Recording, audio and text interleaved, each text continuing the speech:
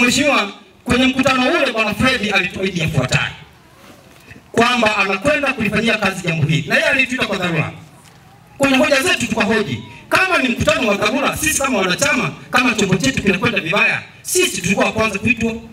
Mtuite sisi, mtuambie jamaa, chombo kinakwenda mtoni sasa, tuone hatima ya kukisimamisha au tuone tunafanyaje. Leo kupitia ushirika mnatuita mkutano wa dharura, ikoje hii? Tuna imani gani? Lakini bwana Fred alituambia tarehe 31 mwezi wa nane atakuwa amemaliza mambo haya.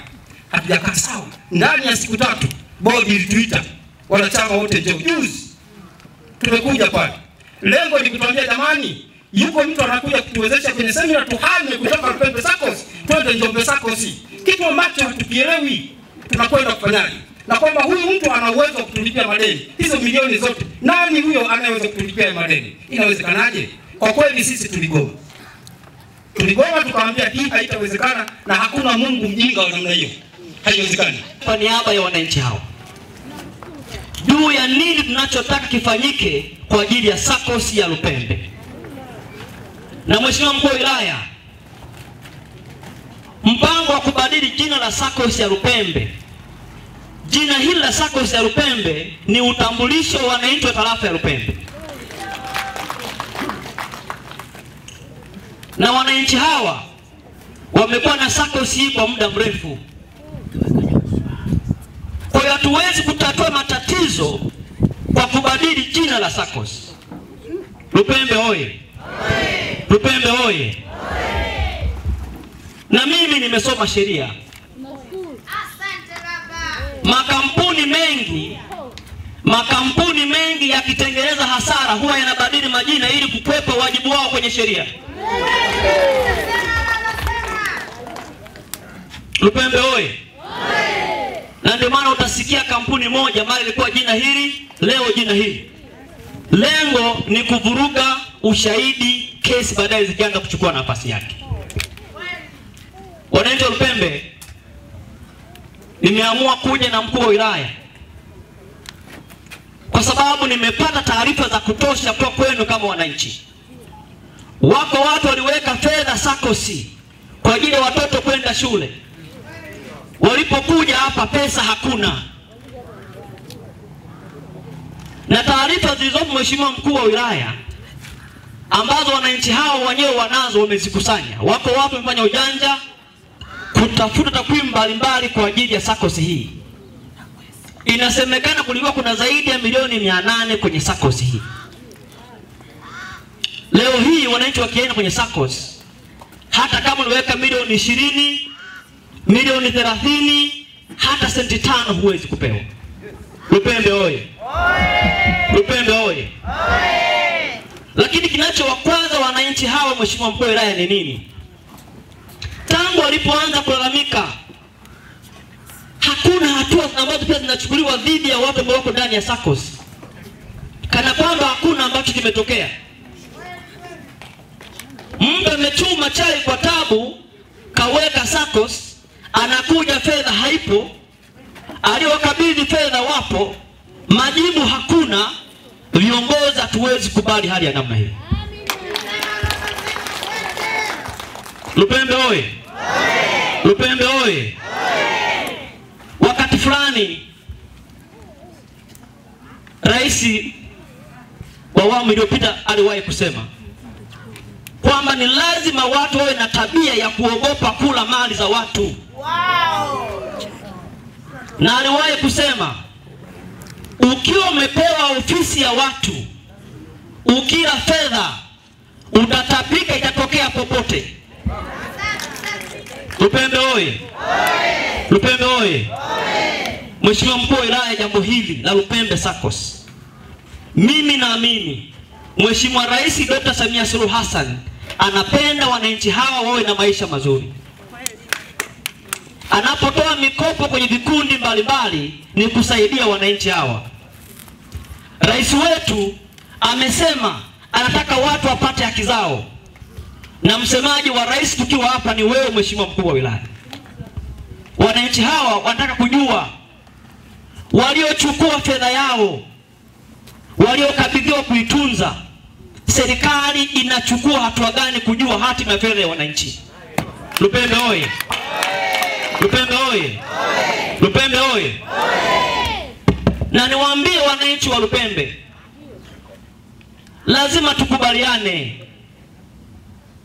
kwamba mali ya watu ni lazima ilindwe. Wananchi wa Lupembe mnafanya kazi katika mazingira magumu sana kutafuta fedha, si ndio? Mwananchi wa Lupembe akipata milioni mbili kazitafuta kwa tabu,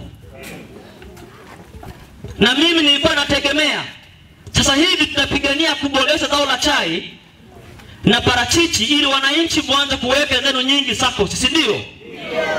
Ili watu wajenge nyumba nzuri, wajenge vyoo bora na kadhalika.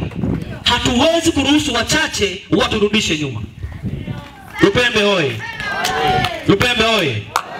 Kwa mheshimiwa mkuu wa wilaya, kwenye hili nataka tukubaliane. Kwanza, hatutaruhusu kumwonea mtu, sawa sawa jamani? Hatutaruhusu kumwonea mtu, lakini pia hatutaruhusu mtu kula mali isiyokuwa yake. Hili sio swala ambalo tunachekesha hapa, ni swala ambalo liko serious. Hela hizi zimetafunwa. Sasa amezitafuna nani? Na kama alivyosema mheshimiwa mbunge, hakuna nafasi ya watu kutafuna pesa za watu wanazotafuta kwa jasho lao. Watu watazitapika hizi hela. Mimi nataka niwaambie kama mkuu wa wilaya, sijaja hapa kuchekesha.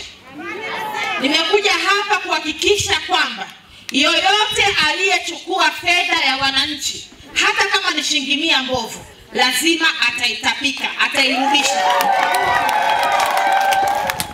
Sasa watu wamekimbia mkutano wangu, wajumbe wa bodi wamekimbia mkutano wangu, wamebaki watumishi ambao na wenyewe wamesimamishwa kazi kwa mujibu wa mrajisi. Inawezekana wanayo asilimia ndogo katika hili jambo, lakini wote watumishi pamoja na wajumbe wengine wa bodi na kuagiza OCD watafutwe wote popote walipo ndani ya masaa 48 wao wamepatikana, kwa sababu hawatakimbia, watakimbia mkutano wangu, lakini hawatakimbia nchi. Watafutwa wapatikane. Na hapa leo ninaunda task force ambayo hiyo task force itakuwa ina watu wa TAKUKURU, itakuwa ina watu wa usalama wa taifa, itakuwa ina ofisi ya OCD na wajumbe wengine ambao mimi mwenyewe nitawaweka kwa ajili ya kuhakikisha madeni ya watu yanarudishwa, fedha za watu zinarudishwa. wana msimamo wa njaa kali. Hao walioingia kwa wote ni njaa kali, ndio maana hawajui hela. Kama ingekuwa baba yake amewahi kuwa na hela, basi angekuwa mchuji. kitu ambacho hakikutufurahisha na tukaambiwa kwamba kuna mkutano fulani unatakiwa uje kesho kutwa, sijui yuko mtu anayetaka kutununua sisi wanachama tuingie chama kingine. Nasikitika sana, nilifikiri bodi ambayo ilikuweko madarakani sio kwamba ilikuwa ina uwezo kuliko sisi. Hapana, sisi tuna uwezo zaidi, kwa sababu tuliunda kitengo chetu.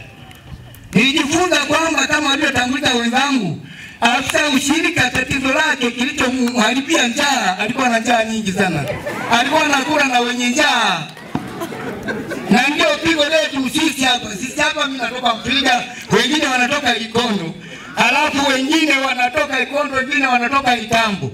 Kitu kibaya zaidi, si wenye cho- chombo chetu wanachama, tunaitishwa kwenye ukumbi na njaa, wanalipia ukumbi, sisi tunakuja na nauli zao, tunatoka na njaa. Je, hilo vipi?